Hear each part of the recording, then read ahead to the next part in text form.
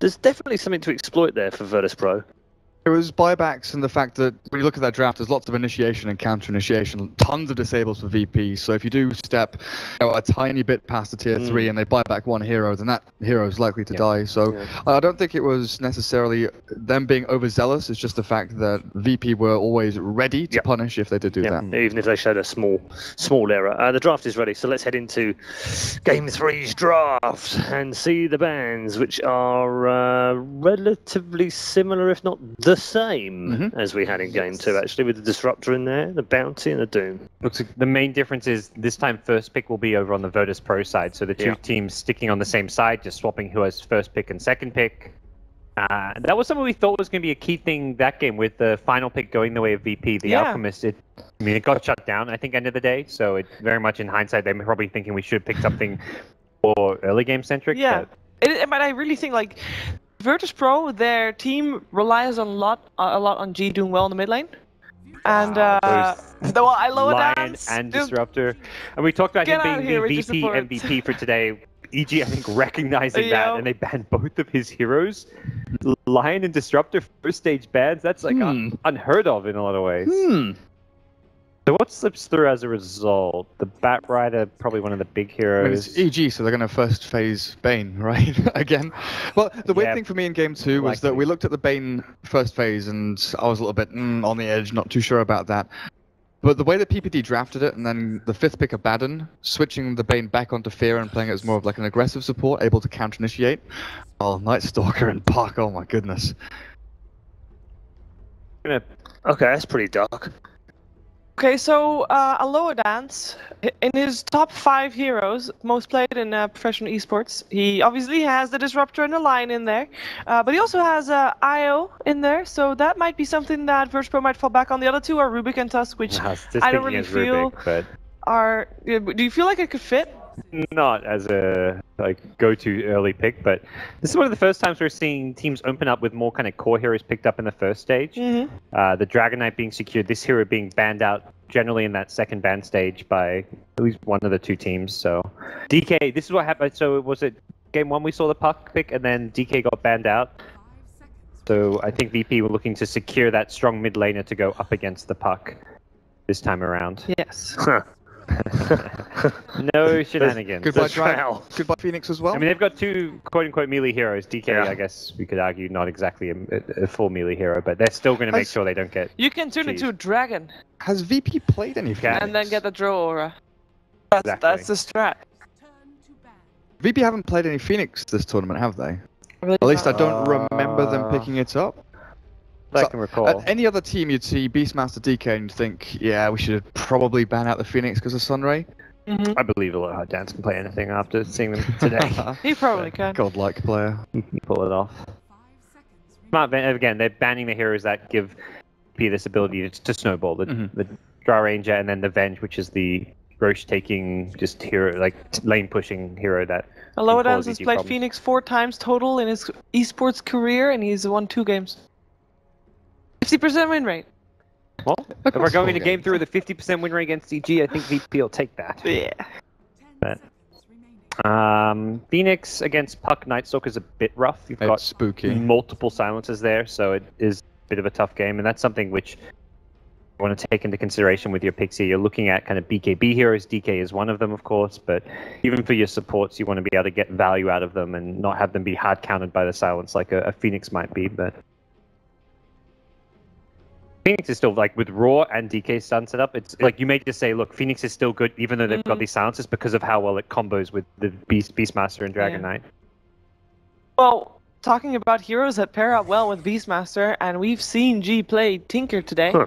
Uh, wouldn't be surprised to see that come out again, and even Abaddon is gonna be struggling with that. It'd be hard to switch the Tinker in and have like DK, Uh, DK, yeah, DK yeah, safe yeah. lane or Tinker No, safe they- Yoki lane. Dragon Knight? No? DK almost is we run exclusively, Exclusively mid. mid. Yeah, Mm. that's the big. That's the. Well, I say it's a problem. It's not more like, Like- it doesn't fit. We used to see a little bit of Tinker safe lane, but Eh.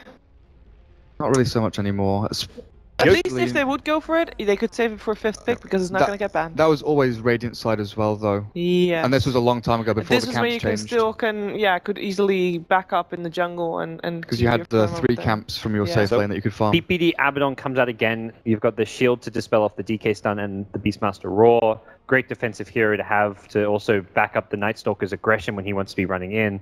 Can help get the puck out of a bind. Really like how this pick worked for EG in game number two, and they'll go for it once more. Does that shift the Night Stalker to off lane then? Uh, mm, most. Because now you don't have a zoning likely. support at all for the Beastmaster. Uh, it's They can pick AUI. Like he, the kind of carries he's playing in the safe lane are very self-sufficient, although life's still banned out. but it does give a lot to the Beastmaster if he can What? just trade hits in lane, and that's the Rubik. Aloha Dance Rubik. Mhm. Where he gets his big playmaker. I think there's a lot more pressure on Yoku this game, unlike past games, because G's on a Dragon Knight. He's Mhm. not on that flashy hero that can put his team on his back to some extent. So we'll see what that means for Virtus Pro as far as heroes they can for Yoku. Yeah. There's very little AoE clear here for EG outside of Puck so far. Mhm. I used to see- Yeah, and you're looking at DK Beastmaster, great, just tower taking potential. You've got Nullfield from Rubik, something which got a big buff Mhm. uh, at early levels. That one value point is being doubled I was in the thinking. magic resistance it provides. I was thinking even past the push and into a hero pick for Yoku we haven't seen in a little bit, the Phantom Lancer, actually being able to farm safe lane and battle through this. Because having mana Yeah, burn, having mana burn on a diffuser blade against Night Stalker Abaddon, it really limits them. Oh yeah, I mean Ab- Abaddon's just like does nothing against Yeah. the PL. You're just useless. Only a viable. They may want to, and again, they can fourth pick it, then ban something like the Ember if they're worried Yeah. about an Ember coming out. But I don't. I think that they'd be more worried about the Sven. The Sven is an AUI hero.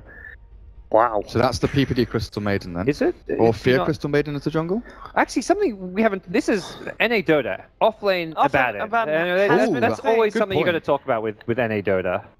That was and the. I forgot about Bulba, inventor of It- strat. It could just be a PPD Crystal Maiden, put fear on the jungle slash fourth position Night Stalker, and Abaddon fits very nicely as an offlaner. I think that Crystal Maiden pick that- just uh, made Virtus Pro think, So- well, we can go This, greedy. this is a Chen draft. No, this isn't. I- It's greedy, greedy early game, but mid game heavy push. And last Yeah. time they picked Chen, it was a complete disaster because they didn't draft around the Chen. They this couldn't- time they have. They've got Yeah. Beastmaster, Dragon Knight. They push hours. There's no.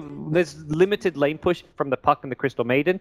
And again, you've got Mek, Hand of God. You've got Nullfield. You've got great ways of dealing with the the AOE coming out from BP uh, I- from I- uh, EG. So And if you want to, you can gank mid lane this game, unlike the previous Yeah. game where there was a DK Uh, mid. But against the puck, if you get like a. Dark Troll and a Centaur or something, you It's can okay, potentially with a yeah. DK, like so a what level are you 3 DK. lacking for for the Virtus Pro draft? VP, much. You, Do you have got go- everything you need. Your carry can do again. It, your carry just you need a stable fighting carry. Yeah. I think that's what you Like, want, just a fighting hero. Okay. You've got a really nice diversity of a bit of burst, lots of lockdown, lots of pushing power, You've got good auras. Exactly. You just need a stable, good fighting carry. Jug would be good. Gyrocopter kind of fits. If you want something a bit single target burst damage, the Clinkz is something that could come out potentially. Mhm. EG just need another blue hero, and then they're all set. Well, Sven's still in the pool. Hmm, do you want Sven here?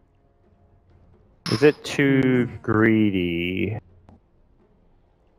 I don't think so. I think it, I think just from the how comfortable AUI has been on the hero, it's still a strong pick for EG. Isn't Crystal Maiden also slightly seen as a counter to the Chen, by the way? Absolutely. At least the help very good at defending against the early rotations coming out from the Chen creeps. Mm-hmm. But once there's a big like once there's a full Chen army, Crystal Maiden can't just walk up and frostbite a Chen creep. You're gonna die to a DK stun or a Rubik. So when the push comes, CM doesn't Yeah. help. Okay. But in the uh, the laning stage, I think EG have really stable lanes to not not worry too much about the Chen ganks. They're taking this bleed blue thing a bit too seriously, though. Yeah. Well, Well, hopefully there's is no removed, bleeding. so What's least- the blue carry? and oh, you got a Weaver that's still blue. Ooh. I, I I, mean, am sort not too much of a fan of that. I think he's blue. Eh.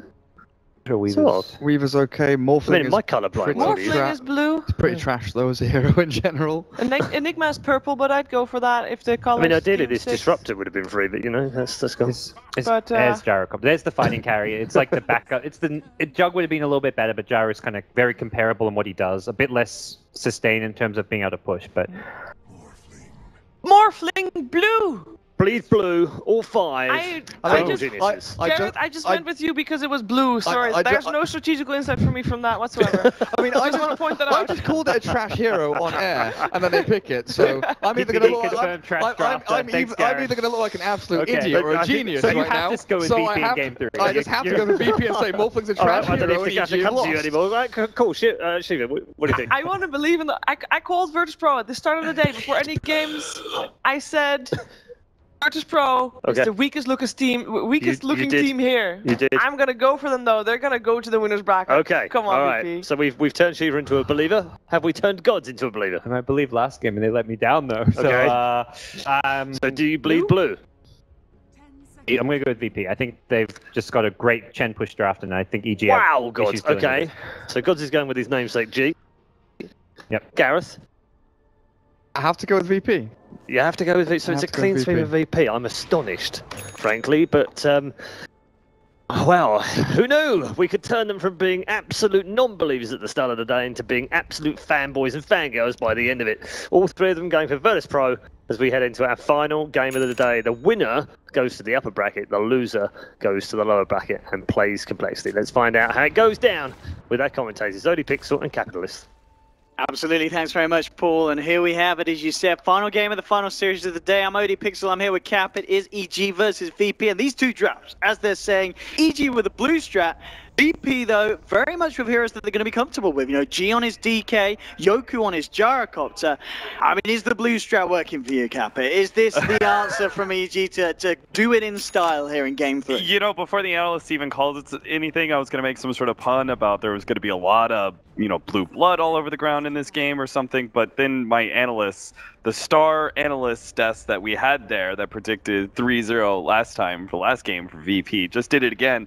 Kind of hard to go with VP in this game after that. But I do like their draft. I, I mean, it's very VP-ish. It's like they. I like the way that they drafted in the beginning, where they set themselves up with both Beastmaster and Dragon Knight up against like the immediate second pick Dragon Knight against Puck. I think was their greatest drafting win.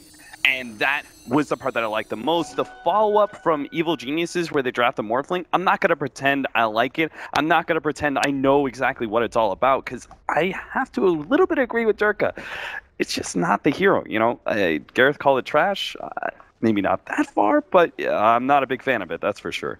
It's going to be interesting to see what, what how it does pull off on, on this hero that we just don't see that much uh, anymore. I'll say anymore. There's never really been a point where Morphling's been a top tier pick uh, unanimously aco- across regions. But EG, of course, looking to, to bring game three round with this last pick Morphling.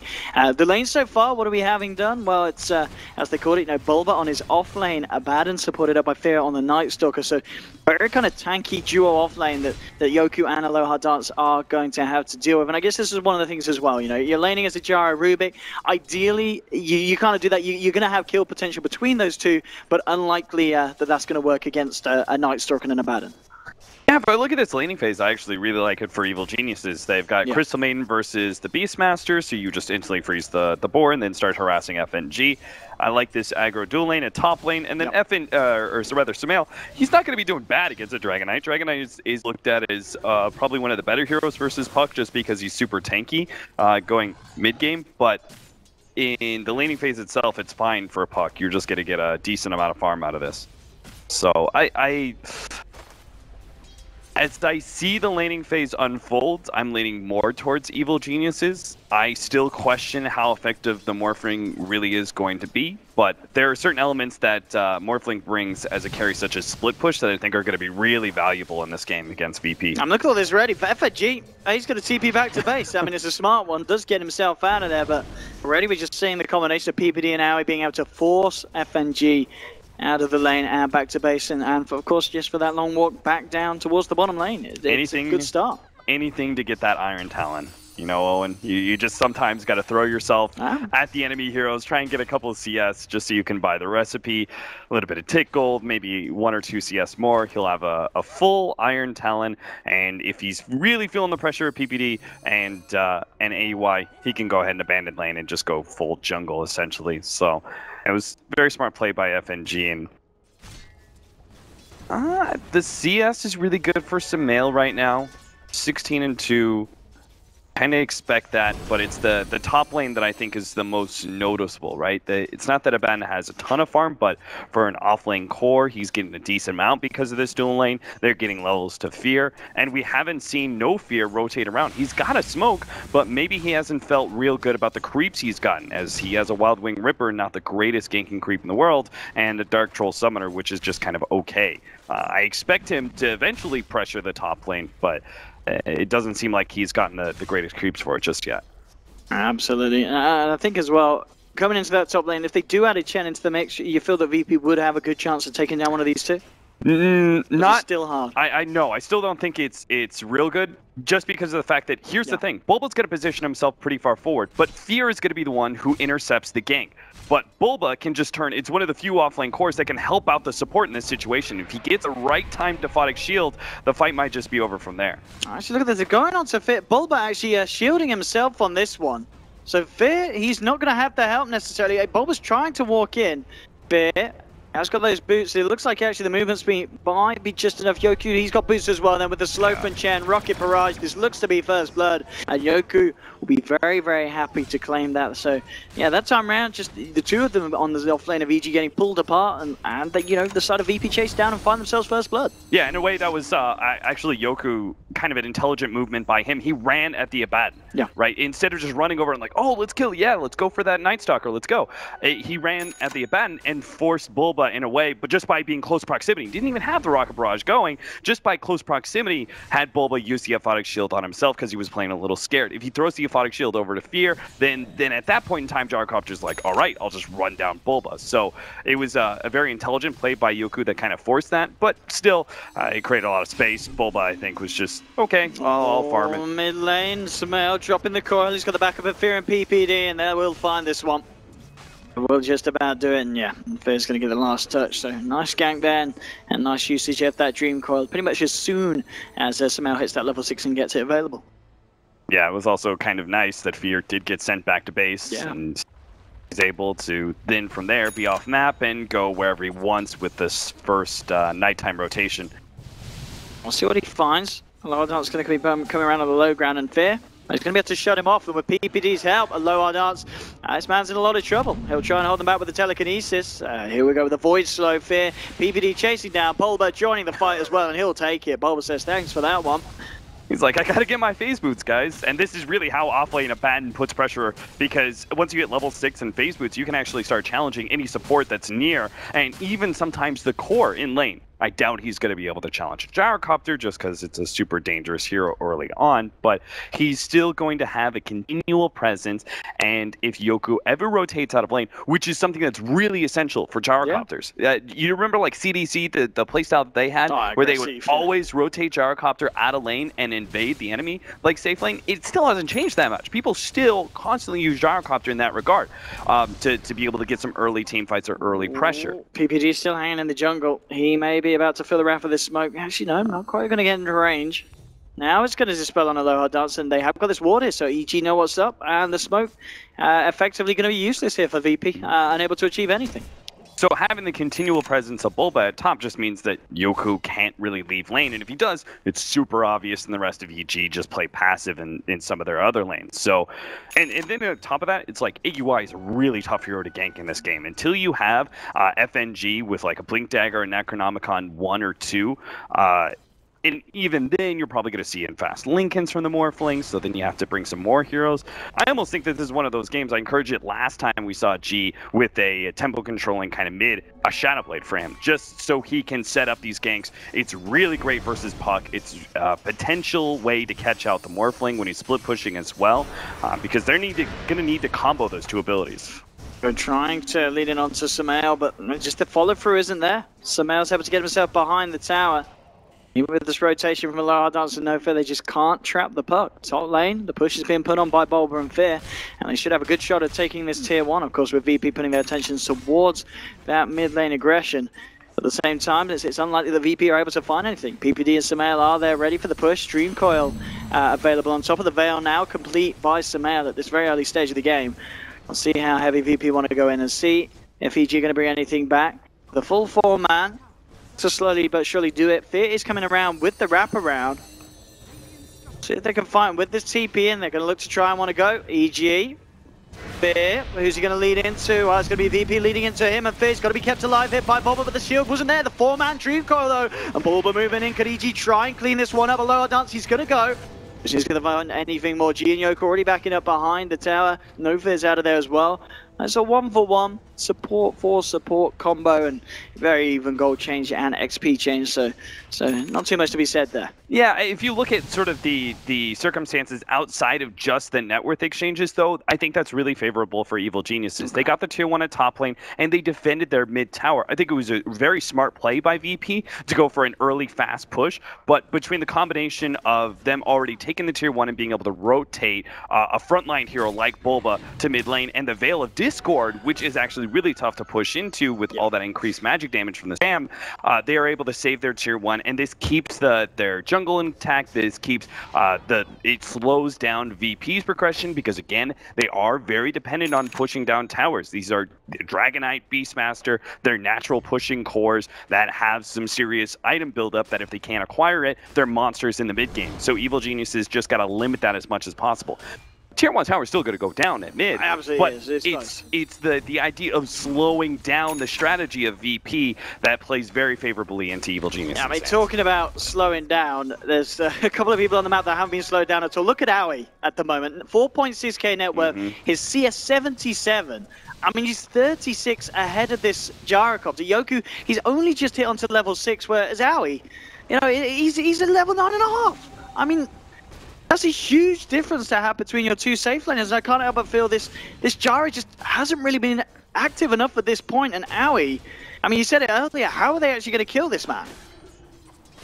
Well, once you get to the Linkens, I, it's damn near impossible, right? Uh, so at that point in time, like if VP can't acknowledge, uh, if can't actually address him in the time before Linken's, I think they almost have to just kind of like give it up and be like, okay, AUIs are taking time bomb, but before he gets his big, like really impactful team fight items, we just gotta push, push, push, and try and take control of this game. Oh, they're going to try and take control of Bulba here, moving forward. Poppy the Roar as well. VP trying to lead in, but there's going to be backup. Sumail on the sidelines, thinking what to drop. Dream Coil out onto two, but Bulba, will he get himself away from this one? Looks like he will, and now PPD with the Frostbite onto G. FNG looking for the TP back, and then Morphling turning up to the fight as well, taking down a second. EG find themselves too. They do lose the tab, but again, I just can't help but feel this strap from VP isn't pulling off enough at this point, and these cores from EG are getting seriously out of control. Aui in particular. It, it- yeah, it's absolutely not gaining enough ground. Every single time they go for a tower push, there's always some sort of response from evil geniuses. It all comes back down to I think the Abaddon off lane, which they facilitate a good start via the the Night Stalker being in lane and being able to help out against the Chen rotations and such. They kept up the pressure, and now every single time when VP go for a push, Bulba's going to be there. Hey, they have to address him. They have to try and and um, you know, do something against him, try and force him back, but he's always going to get some damage out from the Aphotic Shield, and while Bulba's frontlining, Sumail gets some chip damage via the Veil of Discord, and if they get low enough, a full commitment will commence from Evil Geniuses. So, VP, uh, they're, again, similar to game number two, just not getting enough out of their laning phase. It's just a little bit too sloppy. They're getting too many kills, and Aui is about to get that Linkens. They need to do something about this, man. They do have a Roar. There we go, on to Aui with the cooldown as well. They can have a shot at this. Aui's got no TP, but he's got the red. He's out. Ah. Aui, he's, it's... Oh, PPD. Can he help him if he Dragonite's it? cutting across the river. He might be able to catch up, but no, PPD Yeah. intercepts him. Yeah, this is big. Just saving Aui. They're going all in on Aui. He's nearly got the mana for another waveform, and he's, he's out. Up to the high ground. Aui, there's no chase down anymore. I mean, thi- Aui, level 11, 11 minutes in, few hundred away from that Linken sphere. It, it really doesn't get any better for a Morphling at the start of a game. No, it certainly does not. Uh, VP are going to look like they look a little lost right now, and they're going to look so lost when that Linken Sphere is up. And Evil Geniuses still have the fighting heroes to be able to slow down VP pushes. This is the thing, right? You're going to continually see this against push squads.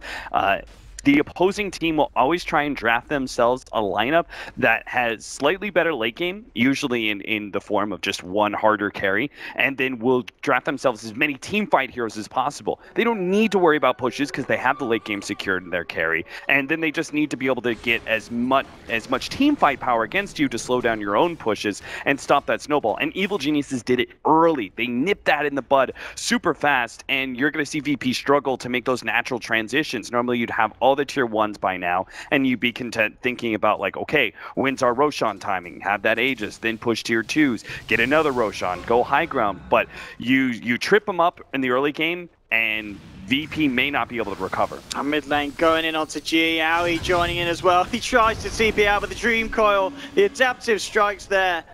And it's another kill for EG. They'll move in, forcing VP back. And this is, yeah, this is looking pretty rough indeed for VP. And also other things as well as this goes on, you know, Fierce picked up the point booster. I gotta remember, when this man has an axe done, you got a Morphling. So you're gonna have two Night Stalkers with that extended night vision split up. I mean, the vision game is going to be ridiculous for the side of EG, and I just don't know how VP can find an opening to fight into it when he gets to that stage of the game, and now they're diving towers. EG moving around, looking for Aloha Dance. It's going to be a nice cooldown, but now they just step to the side. Now Yoku himself, he could be in trouble. Silence from Sumail onto Tohu and Yoku and FNG. They've got to be careful.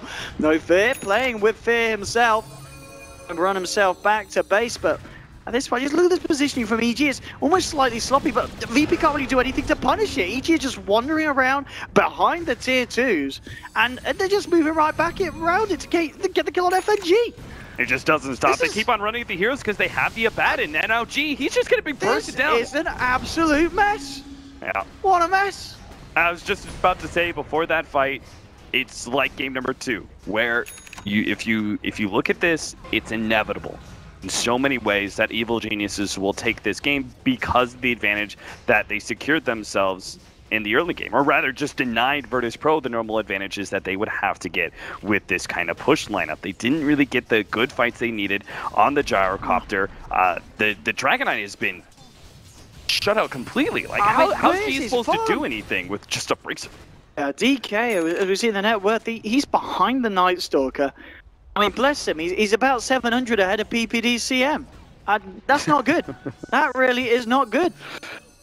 Especially when you remember the last time that PPD was playing this CM, he was just uh, up against that Spectre, right? And just dying constantly. He's normally the hard 5-5 position of Evil Geniuses, or not the hard 5, really the hard 6. He plays that sacrificial uh, support role. So when he's ahead or potentially contesting certain cores on your own team, you, you know something's real problematic.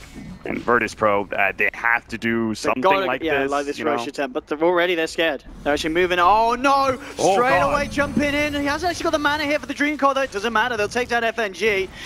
Telekinesis onto PPD. Can they punish this? Yeah, but there's your Dream Coil. Holding three of them back. The cooldown isn't going to connect only onto Bulba, but Bulba, he doesn't mind frontlining this one. Aloha taken down as his second casualty here for the side. Yoku trying to move in, but with the race just doesn't have the damage on this gyrocopter. Three dead on VPG, silenced up. Fear moving in with the rest of the boys in blue, and the blue strats working out. An absolute mile here. 14 for 2. EG go into the pit. And this, I mean, this is kind of the EG versus VP matchup we expected. Mhm. It's just absolutely outclassed from the side of EG. They're at 14k net worth lead, and VP, uh, well, they're back to kind of the VP we are expecting this morning. Yeah, a totally one-sided lead from Evil Geniuses. It would take so many miracles, I think, for Virtus Pro to be able to come back into this game. And I think it all comes back down to, and I just I love the pickup when I when I saw it, and it's proved to do so much more. I thought the eccentric pickup of Evil Geniuses that was really uh, that set a lot of their drafts apart from everyone else was the Elder Titan. Oh, but now they're showing this other card in the Abaddon. If they can successfully run both support Abaddon and do this punishing off late Abaddon as well, which is kind of an NA specialty, then Evil Geniuses, th- this hero is actually doing so much against the, the team fight snowballishness of Virtus Pro's lineup, and every other team after VP is going to be on alert for this. They're going to be scared of, of the potential for Evil Geniuses to shut down your five-man push lineup at minute seven, eight, whenever that first uh, push at the mid lane was. I just, they're this these numbers. PPD, more farm than G's DK. That's I really don't know what to say to that. And well, VP, they are going to try and fire onto this one straight onto Fear. Looks like they'll find themselves the Night Stalker. Very nice indeed, but Sumail.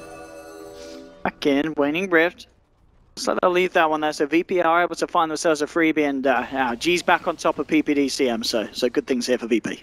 I mean, so, Sumail is doing, he's making up so much for that game number one, right? Where he got tripped up multiple times as the Ember Spirit and it ultimately cost Evil Geniuses the game. Now Sumail, like, it's like he's pissed off. He's just styling on Virtus Pro every chance he gets. And he's dealing with some, like, instant disables too. Like, single target, like, the Dragon Knight is great because of Dragon Tail. Uh, you've also got the Rubik Telekinesis. Have you ever seen Sumail get caught out by that, though?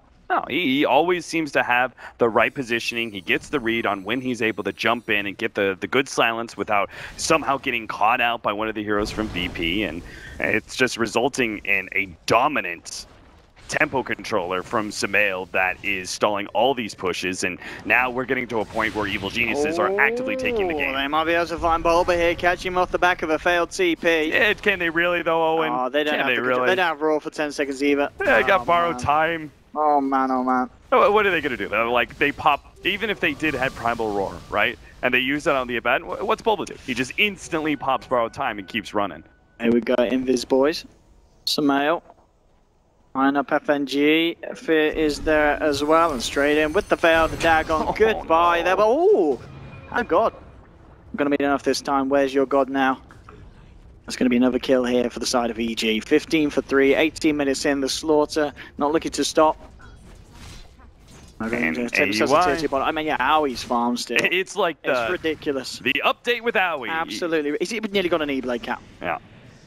You just got to check in on him every once in a while, see how much farther ahead he's in net worth and how many towers he's claimed. And it's another one. Tier 2 goes down, E-Blade is ready to go, and this is the point, right? We've now skipped over this area where Morphling was supposed to be kind of like Weaver in that you pick up your first defensive item and you're not supposed to be much a team fight hero. And most teams are able to abuse that. They're able to play the team fight element and they're able to just push aggressively against you while the Morphling or the Weaver split pushes. But we've skipped over that. Like Morphling was still strong enough. He was getting so much free farm. He was viable. And now with the Ethereal Blade, he's going to be dominant. Well, you got to, oh, FNG, I don't think you want to come out of the base. That Hawk really got shown there by the E-Blade. Bale onto FNG with the stun as well. Can he fight into this one? No, he can't. One more touch from Fear, they'll find the kill. They may lose Fear though on the Night Stalker. Gets himself forced away. Telekinesis though, and they'll take it. Buy back from FNG. They'll look for some Sumail as well. He's a little bit low on mana. Can this boy get himself out of harm's way? No, he can't. Aegis now popped. EG yeah, I've got the three man on the sidelines ready to come back in, and with the new contact for G getting blown up by Aui. Now involving PPD, PPD, oh that's a nice freezing field here, forcing VP back. Aui's moving forward, eyeing up Yoku. Quite enough though as VP themselves alive, just getting themselves back up to the high ground. Nonetheless, I mean VP, they do find themselves two kills and a big one as well onto Sumail's Puck that was having a very, very good game. And uh, the money going to G on that Dragon Knight, so it's going to be a nice cash influx. But uh, it may just be a, a little too little, a little too late for the side of VP as still it is EG with this uh, just daunting lead of, about 17,000 net worth at this point. I got to give credit to PPD though. That was so smart where he snuck into the trees and got that freezing field. Because for a moment I thought that maybe VP could keep going. They just killed Sumail. The shotgun had just been used to uh, used to kill FNG. So the Morphling wasn't as much of a threat if you can start getting offensive on him, right, and force him to morph into strength in order to stay alive. But because of the freezing field, it keeps VP utterly zoned out, and they're not able to capitalize on what was a uh, initially small win that could have gone so much better. I like Bulba's choice here in a way. I guess the drums isn't really much of an item that some cores want to be able to go for, especially uh, some of the strength cores that used to go for it. It's just not as valuable anymore. So he goes instead for a Blink Dagger. I thought this would be like a full movement speed build that we used to see um, started off in NA, but you know, it was like Vlad's, you maybe go for an S and Y, you consider drums as well, some just early stat items, just abuse the heroes by running at them as much as possible. But now, Bulba's actually going to blink into them. Ugh, his new damage is far too much at this point for anyone on the side of VP to survive. Benji getting caught out. See the illusion here on the replica illusion from Morphling just coming around, trying to give them a bit of vision on the back line. So there's a smoke up from VP though. See what they can fine with this one. Playing EGR about. They can, I mean, if they can win a fight, it will be huge. Fear. Be the one to dispel it. No. Sideline Joker already being bursted down very low. The Mek will be popped. Bulba coming into the middle of it all with a freezing fielder for the sidelines. PPD doing it for the time being, but the BKB Yoku will take him down. Yoku just BKBing, TPing away. Aloha Dance, getting himself up with the jaw, but the Dagon there. Puck takes him down. Two falling on the side of VPG. Left alone, hung out to dry. They'll find themselves a third EG. I don't think I've ever seen uh, a gyrocopter TP out a 20 minute fight like that. This is supposed to be the most dominant period of time for Gyrocopter, but he popped his BKB, killed Crystal Maiden, then TP'd away. That's how little faith he had in Virtus Pro being able to fight this one out, despite G as well as the, the Rubik still fighting it out. We're attacking heroes and stuff. Gyrocopter's like, nope, nope, nope, nope. We this fight is over. We got one kill. That's it. That's all we can ever get. I'm going home. Yeah, we're with the push here.